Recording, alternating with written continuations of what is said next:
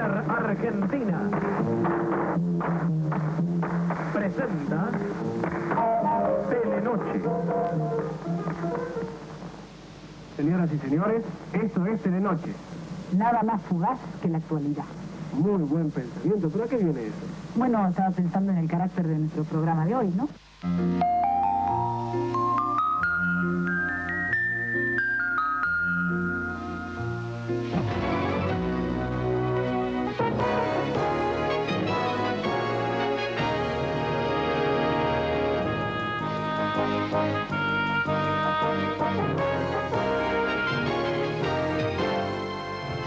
Hola, muy buenas noches, ¿cómo les va? ¿Cómo están ustedes? Hola, muy buenas noches. Muy buenas noches, ¿cómo están ustedes? Hola, muy buenas noches.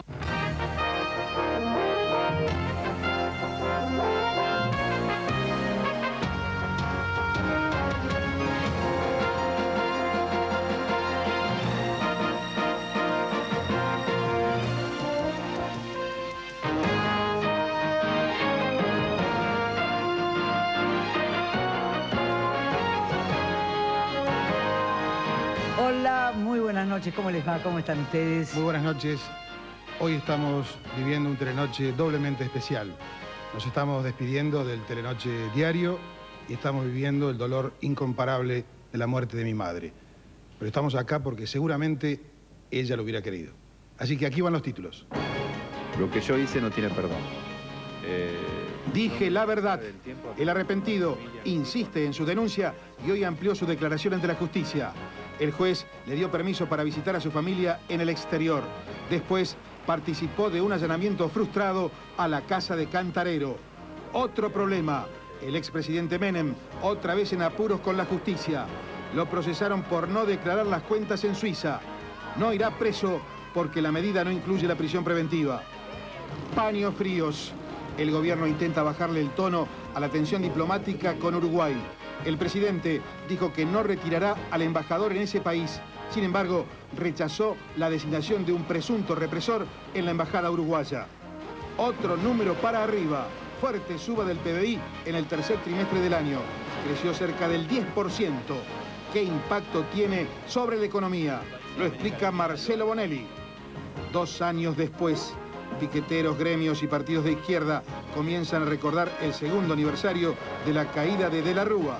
El gobierno repitió que no habrá represión, pero que no tolerarán desmanes. Vecinos aliviados. Cayó el francotirador de Barrio Norte. Es un estudiante universitario de 19 años. Había herido al menos a 15 personas con un rifle de aire comprimido. La Torre de la Libertad. Así se llamará el edificio que reemplazará a las Torres Gemelas en Nueva York. Hoy presentaron el diseño final. Medirá 541 metros, por lo que se convertirá en el edificio más alto del mundo. A todo o nada. River necesita ganar en la altura de Arequipa para salir campeón de la Copa Sudamericana. En Perú derrochan confianza. Los millonarios y una parada bravísima contra el Cienciano.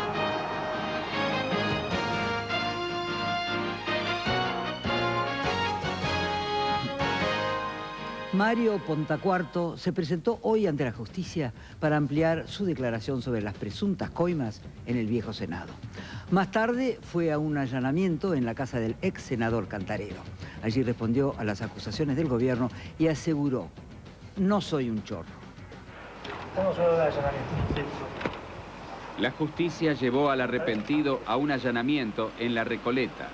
Rodeado de policías, Mario Pontacuarto fue hasta el departamento donde dice haber pagado la coima.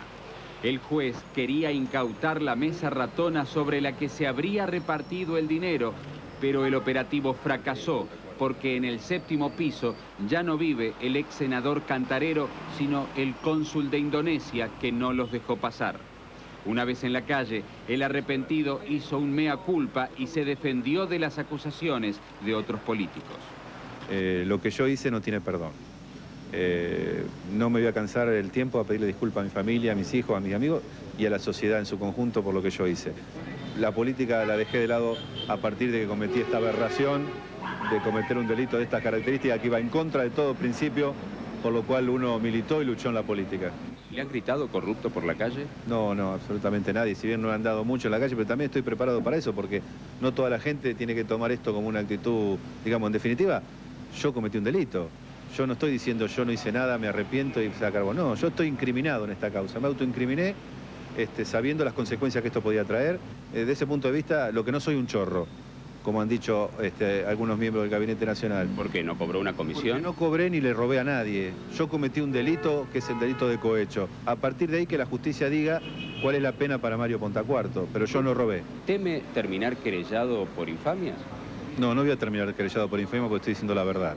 Y a medida que va usando la causa y se van comprobando algún tipo de pruebas que se fueron aportando, da eh, los indicios que esto realmente ha sucedido. Así que en eso no tengo ningún tipo de temor creo que los que van a tener que dar explicaciones en definitiva a la justicia van a ser ellos. Ponta Cuarto partió al allanamiento desde tribunales, a donde fue interrogado por el juez Canicoba Corral. El imputado entregó varias fotos que prueban su estrecha relación con Fernando de la Rúa y aportó el nombre de un empleado del Senado que habría tenido conocimiento de los sobornos, pero que hasta ahora no había sido mencionado en la causa. La Cámara Federal autorizó al juzgado interviniente a seguir trabajando en el caso durante la feria judicial de enero. Hubo también una autorización para el arrepentido que podrá salir del país con custodia de la Policía Federal para visitar a su familia que se autoexilió. Eh, no tiene restricción por el momento legal y lo he autorizado sobre la base de la opinión de los fiscales y de que es una persona que ha concurrido voluntariamente al tribunal a, a prestar declaración. Deberá volver al país, no bien pasada la Navidad. A todo esto, el expresidente Carlos Menem fue procesado hoy por haber ocultado en sus declaraciones juradas una cuenta bancaria en Suiza. Así y todo, no quedará detenido. Carlos Menem abrió la cuenta secreta en 1986 en el banco UBS de Ginebra. Allí tenía depositados 650 mil dólares que no figuran en su declaración jurada de bienes. Por eso, hoy la Sala 2 de la Cámara Federal lo procesó por omisión maliciosa y revocó así la falta de mérito con la que lo había beneficiado el juez Norberto Yarvide. El procesamiento es sin prisión preventiva, pero podría significar su inhabilitación perpetua para ocupar cargos públicos. Menem estaba obligado a dar a conocer su patrimonio por la ley de ética pública que él mismo dictó. Todo resultó posible porque la justicia suiza accedió a dar los datos de cuentas vinculadas a casos de corrupción. Ahora está bajo sospecha otra cuenta secreta a nombre de Ramón Hernández, que tendría más de 6 millones de dólares. El gobierno celebró el procesamiento. El ministro de Justicia, Gustavo Vélez, advirtió que el esclarecimiento de estos hechos tiene que llevar a la detención de los responsables y a la recuperación del dinero. esperamos que esta respuesta positiva de la jueza Junot continúa con otras respuestas positivas que deberían conducir a que se revele eh, la conformación de las cuentas del expresidente Menem, de su secretario Ramón Hernández, de otro secretario denominado Héctor Fernández, que podrían aportar elementos muy importantes para que la impunidad tenga un nunca más en la Argentina para siempre. Después del escándalo con Uruguay, el gobierno argentino, a través del canciller Rafael Bielsa, salió a poner paños fríos. Un comunicado emitido por la Cancillería uruguaya que eh, dice básicamente que eh, Ramela, que es la persona que hizo las declaraciones ofensivas con nuestro presidente, no es un funcionario del gobierno y que lo que él dijo no representa el sentimiento ni del pueblo ni del gobierno uruguayo, por lo cual, respecto de ese agravio en particular, nosotros consideramos terminado el problema. Eh, esperamos que el gobierno uruguayo no mande Em, eh, no, intente acreditar como agregado naval uruguayo en la República Argentina a una persona este, acusada de violaciones a los derechos humanos porque sería lamentable que tuviésemos que negar esa acreditación. ¿Piensa el gobierno por el momento retirar su embajador de Uruguay? Consideramos superado el episodio. ¿Es realmente así, Gustavo? Bueno, no es tanto como dice el canciller porque el presidente Kirchner dijo hoy esperemos que no nos manden al torturador que nos quieren mandar. Esto es solo comparable a cuando el año pasado había estallado también un escándalo similar cuando el presidente uruguayo Jorge Valle dijo que los argentinos éramos todos una manga de chorros en relación aquí hay una enemistad entre el presidente argentino y el presidente uruguayo. Hay una relación política muy tirante entre ellos que ahora viene a completarse con esto que quieren enviar a la Argentina al capitán de navío Juan Craidelier, que está acusado de haber cometido violaciones a los derechos humanos en el Uruguay y que el gobierno argentino está resistiendo y va a seguir resistiendo. La última posibilidad que si el gobierno uruguayo insiste, no se le otorgue el placer correspondiente en nuestro país. Bien, Gustavo. Ahora van tres noticias en pocas palabras. Al menos ocho delincuentes asaltaron varias oficinas de un edificio en el barrio de Saavedra. Los ladrones huyeron con plata, cheques y varias computadoras. La policía detuvo en Barrio Norte al francotirador que desde hace tiempo atemorizaba a los vecinos. El joven de 19 años disparaba con un rifle de aire comprimido. Hasta el momento había herido a 15 personas. La selección juvenil sub-20 perdió 2 a 1 con Colombia y terminó en el cuarto lugar del Campeonato Mundial de los Emiratos Árabes. Ponemos en funcionamiento el túnel del tiempo. Después del caso Watergate, el escándalo político que hizo caer nada menos que a un presidente de Estados Unidos, a Richard Nixon, Mónica, entraste a la redacción del Washington Post para hablar con uno de los mayores referentes del periodismo de la época. Así es. Vamos a verlo. Y estamos en una de las oficinas del Washington Post con el editor ejecutivo de ese diario, el señor Benjamin Bradley. Y muchos de ustedes lo deben conocer, por lo menos de nombre. Y hace exactamente cinco años que pasó el caso Watergate y yo quiero saber cómo afectó su vida. It's nearly exactly five years since Watergate, Mr. Bradley. How did that event affect your life? I mean, did it really change it personally, professionally, or not at all? Well, I mean, it, it brought you here today. You wouldn't Bueno, para empezar nos trajo a uh, ustedes acá. Wouldn't have been here without it. No estarían acá si no fuera por eso. They wouldn't have made a movie No about hubiera hecho una Washington película Post. sobre el Washington Post. It uh, has given us a notoriety that is not Nos ha dado una notoriedad entirely uh, pleasant que no es exactamente muy agradable, or easy to live with. ni muy fácil vivir con él. Eh, ¿En qué momento se dio cuenta usted que tenía entre manos el hecho periodístico más sensacional de las últimas décadas? We've never been able to uh, pinpoint the exact moment. Nunca pudimos realmente encontrar el momento exacto. I think there was uh, there was a time when each of us uh, privately uh, began to ask uh, himself the unaskable questions. Creo que llegó un momento en que todos nos preguntábamos cuáles eran esos momentos y las preguntas que no se podían preguntar. Was the president uh, truly involved? Was it ¿Estaba realmente involucrado el Possible. presidente? ¿Era posible? that he would resign or be impeached? ¿Era posible de que iba a lo mejor retirarse de la política o de alguna manera que se lo podría obligar a demitir? Lo que son las cosas, ¿no? Y todo lo que significó esa investigación, ¿no? Estaba pensando que, eh, digamos, entre vos y yo, el periodista serio político, sos vos. Yo estaba ahí, Washington Post, él mientras relajadísimo en Guarujá, playa, mar, una No, cosa bueno, de locos maravilloso. Tenía un motivo, estaba detrás de una primicia mundial. Los Beatles, desde su separación, no habían hablado prácticamente con ningún medio, para ningún medio del continente americano, seguro, solo para un diario londinense, uno de ellos. Entonces, había que poner una maquinaria de captura de esa nota, y eso fue lo que hicimos, porque... ¿Y vos, eh, cómo conseguiste ese Necesitamos un aliado que, que era Emerson Que Fittipaldi. Fittipaldi, claro. Se acababa de correr la carrera en, en Interlagos de Fórmula 1. eh, Harrison estaba presenciando la carrera.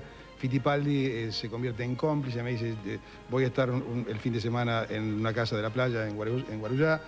Y ahí, y bueno, ahí hubo Ahí, que- ahora vean, vean ustedes. Eh, agudizar un el ingenio. César, un César más flaco, menos canas, pero César. Al fondo, a mis espaldas, se recorta el perfil de la ciudad de Guarujá. Emplazada a 90 kilómetros de San Pablo, en la isla de Santo Amaro, sus playas, vaya novedad, están entre las mejores del Brasil. George Harrison, una figura fundamental de la música moderna, contra el que habitualmente rebotan los intentos de entrevistas, está allí. ¿Cómo ve el fenómeno que desataron los Beatles? How you see the the here, all the the Beatle phenomenon because it's Yeah, it's like, I don't know, it's um, something that happened.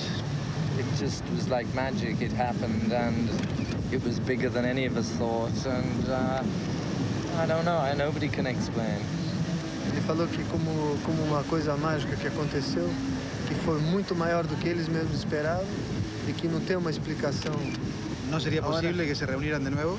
¿Que se volvieran a reunir? ¿No es posible en el futuro? I was asking him uh, if, if one day on the future get together again to play. I don't think so. Tell- uh, The best way to explain that is to say, like when we all live together with our mother and father, and when you get older, you all leave and live with your wives, and you don't Yes, go back correct. to live with mum and mother and father. Ele está dizendo que é a me- a mesma coisa quando tu és jovem, habita com a mamãe e o papai. Depois de uma idade, cada um tem a sua vida separada e não volve mais habitar com mamãe e papai. ¿Y el tango? ¿Qué opina del tango? Tango? Do you like tango? Yeah, it's okay. I don't dance. I don't dance. Bueno, en este bloque vos eh, hablando de política con Bradley y yo haciendo notas en dos idiomas. ¿Qué tal? Bueno, vamos a retroceder ahora hasta el año 95. 5 horas, 10 minutos de transmisión ya. Muy pequeña pausa y dentro de muy pocos instantes seguramente el presidente de la República, el doctor Menem, y... La conferencia de prensa que marcará el punto culminante de la jornada, Dual desde La Plata, Masachesi desde Río Negro, es decir, Los tres candidatos principales.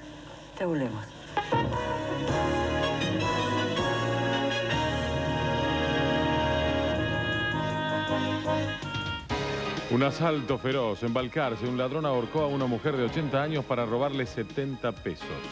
Se van.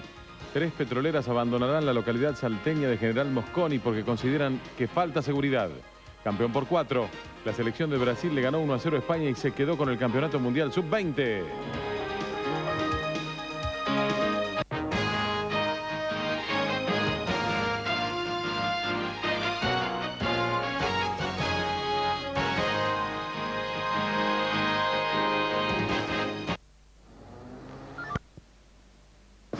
Judía en la Argentina. Estuvimos acá pocos momentos después que se desencadenara la tragedia. y volvimos hoy para que, como se dijo en un discurso esta tarde, nuestros muertos no mueran dos veces, una vez por la bomba y otra por el olvido y la indiferencia.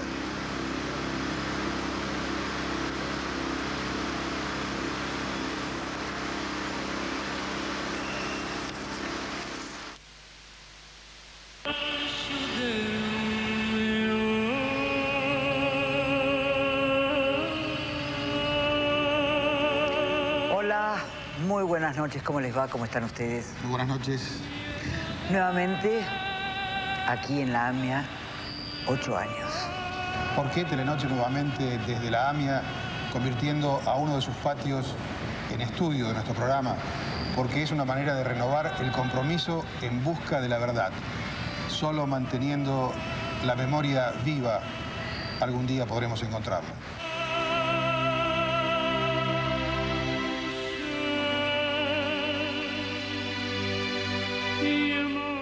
Fue uno de los momentos más, más tristes, más dolorosos para los argentinos, ¿no? Y para vos, César, realmente, ah, bueno, fue un impacto terrible ese día. Uno de los más duros, uno de los momentos en los que eh, perdí eh, la serenidad, la frialdad, la objetividad profesional que deben ser características de nuestro oficio, porque de lo contrario, co- así como un cirujano no, puede, no podría operar si no la conserva, si se emociona, ese día a mí me pasó. Se me rompió el molde profesional porque no se podía aguantar tanto dolor. Y me pasó esto. Acá piden silencio nuevamente, seguramente se han escuchado indicios de más víctimas que bajo los escombros están con vida. En esa zona escucharon una voz y desde ese momento hasta ahora hacen todo tipo de esfuerzos. Ahí, ahí los vemos, bueno, ahí sale, ¿no? sale uno. pero salen como con cierto... Hay uno que saltó, tal vez temiendo que se produzca un nuevo derrumbe. Atención, atención, atención, cuidado, cuidado, cuidado, cuidado, cuidado. Terrible, por Dios, terrible. Lo que ha sucedido, terrible. Se ha producido un nuevo derrumbe, no alcanzaron a... Por Dios, por Dios. Atrás, atrás, che, atrás. Mantengan la calma. Mantengan la calma. Piden las autoridades que mantengan la calma. Piden silencio para poder detectar a las víctimas. Aquí, aquí, aquí traen a uno, aquí, aquí. Acá. Aquí, aquí. Aquí alcanzaron a rescatar a uno con vida. Esto es impresionante. Sí, es terrible. Nadie puede creer lo que acaba de vivirse.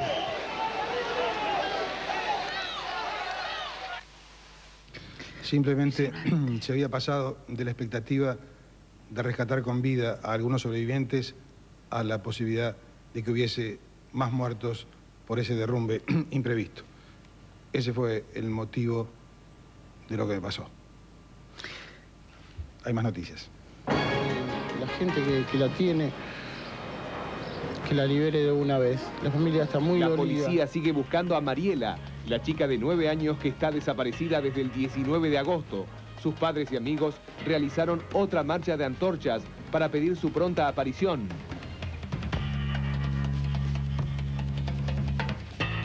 El hijo del ex piloto de Fórmula 1, José Froilán González, murió de un paro cardiorrespiratorio mientras practicaba esquí acuático en el Río de la Plata, cerca de San Isidro. River juega esta noche en Perú la final de la Copa Sudamericana contra el Cienciano. En el partido de ida empataron 3 a 3, por lo que los millonarios deberán ganar para salir campeones. Bueno, vamos a... En este repaso que estamos haciendo de los últimos 13 años, ¿no? Exacto, vamos a retroceder dos años, una noche como hoy. ¿Cómo contar lo que pasa con mi gente y su pobreza? Pero ¿cómo contar lo que pasa,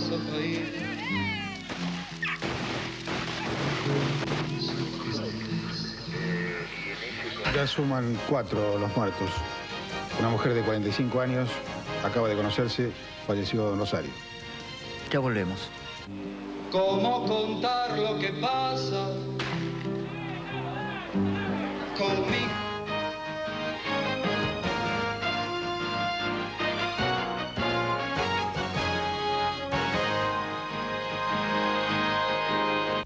No hay nada como correr hasta el mar.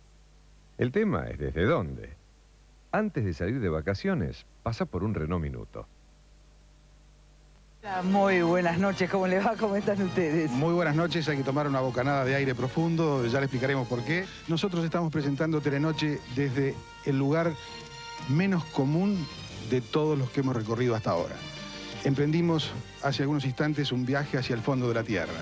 Estamos transmitiendo a 50 metros de profundidad en un lugar llamado las Grutas de Orneac, que fue construido, la naturaleza lo empezó a construir hace 7 millones de años. Repetilo.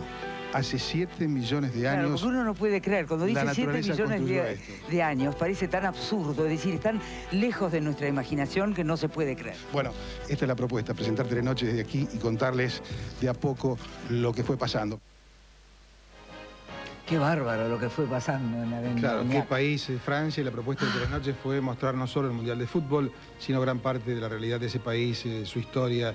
Fue una experiencia Fascinante, realmente maravillosa y estoy seguro de que el público ah, lo compartió con nosotros de, de punta a punta. No había que desaprovechar la oportunidad. Tres más en dos líneas.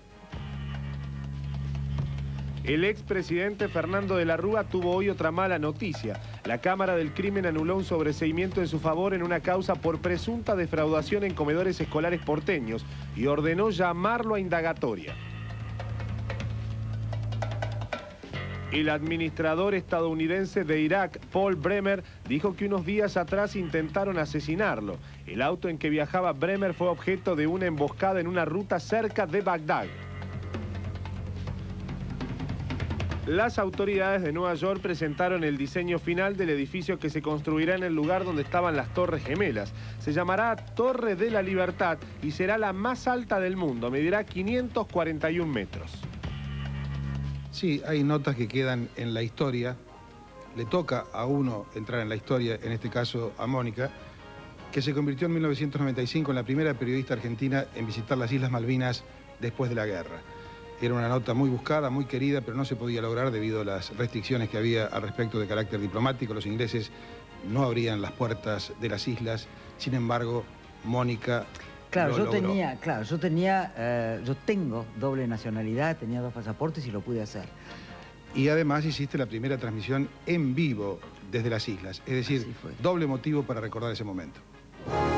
Mónica en Malvinas, protagonista de un viaje emocionante junto a un grupo de argentinos que acompaña la tumba de sus familiares muertos en la guerra. Desde Puerto Argentino, en vivo, en directo, hora 2017. Buenas noches, Mónica. Hola César, hola, ¿cómo están todos? Buenas noches. Aquí realmente con un frío impresionante. Hay 4 grados de temperatura y probablemente si estuviésemos en Buenos Aires diríamos que la sensación térmica debe tener 2 o 3 grados bajo cero. Más que nada por el viento, que es una constante en las islas. Pero hoy fue un día, otro día, realmente muy emocionante. Nosotros fuimos en auto 250 kilómetros hasta Darwin y allí nos encontramos con los familiares que habían pasado la noche en la isla Borbón, en Pebble Island, y que llegaron en helicóptero desde allá.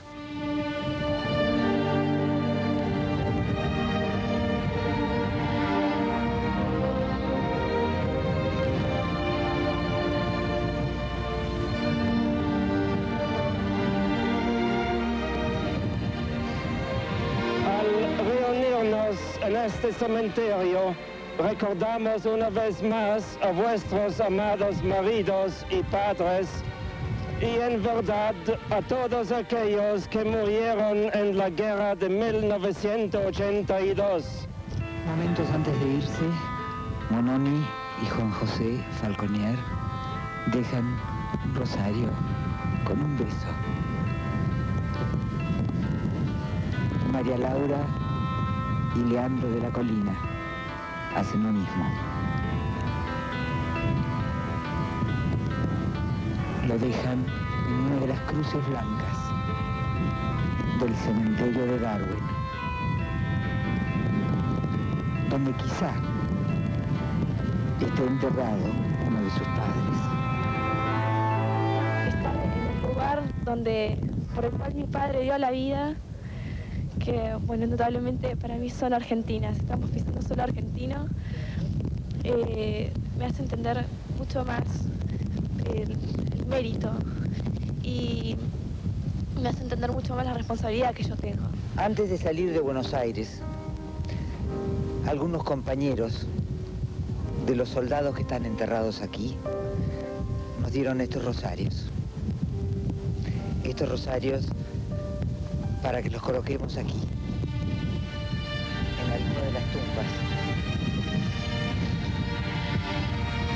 donde no hay nada, salvo este cartel que dice, un soldado argentino, solo conocido, adiós.